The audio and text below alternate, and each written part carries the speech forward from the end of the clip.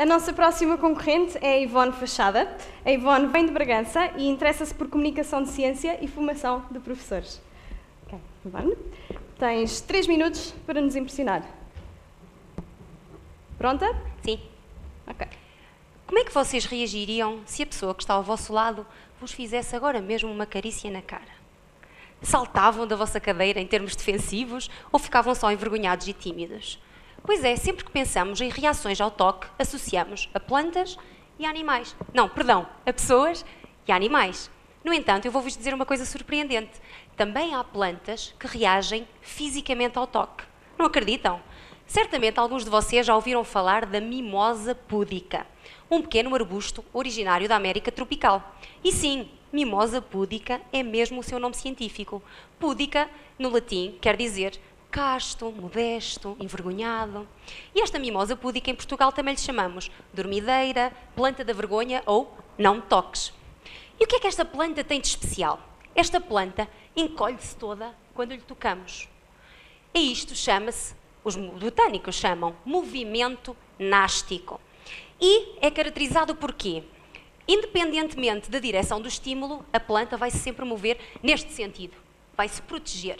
E além disso, acontece porque há uma grande perda de pressão das células. Eu vou exemplificar porque, para ser mais simples, imaginem que a minha mão é uma folha de mimosa púdica, constituída por pequenos folíolos, ou seja, folhinhas mais pequeninas, que representam os meus dedos. Aqui nesta folha existe, existem várias células especializadas, capazes de perder água com muita rapidez. Quando eu lhe toco, elas vão se fechar com a ajuda de quem? De dois elementos químicos muito importantes, o cálcio e o potássio.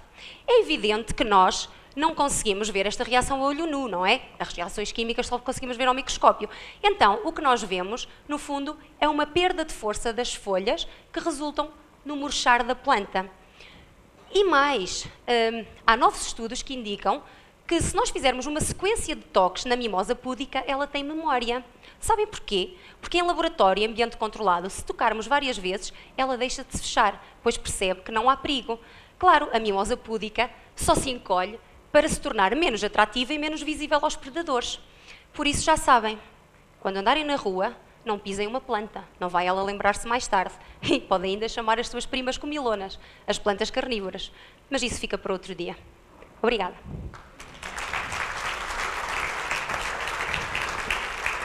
Bem, Ivone, mais uma vez vamos ouvir o nosso júri. Agora começo eu. Nós vamos circulando, para não, para não começar sempre o mesmo, nós falamos sempre os três.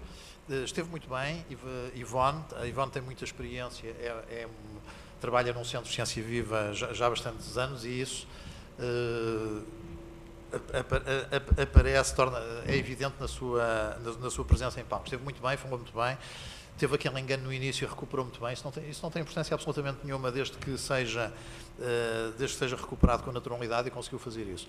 Eu fiquei na dúvida, eu conheço uma planta que é assim, a que eu sempre chamei sensitiva, não sei se é a mesma. É a mesma, sim senhora, é a mesma. então. Então é aqui um nome, falta-me falta só esse nome.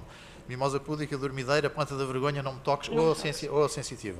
Fiquei na dúvida se seria a sensitiva ou não. Esteve, uh, esteve muito bem e aprendemos coisas, o que é, o que é sempre bom. Obrigado.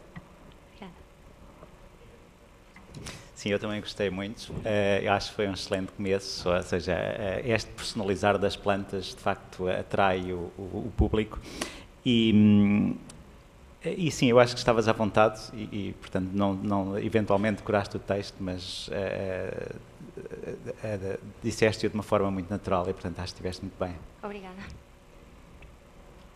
Eu também aprendi imenso com esta apresentação, Ivone. Foi muito interessante. Uh, acho que eu nunca. Há uma letra do, uh, do Rui Veloso que fala nesta dormideira. Eu nunca não, não sabia é que era esta não sabia que era esta planta. Uh, gostei especialmente da utilização da mão como explicando como é que funcionam as folhas as folhas da planta e isso torna a explicação muito muito interessante. Parabéns. Obrigada. Obrigada, Ivone. Até já. Até já. Vamos.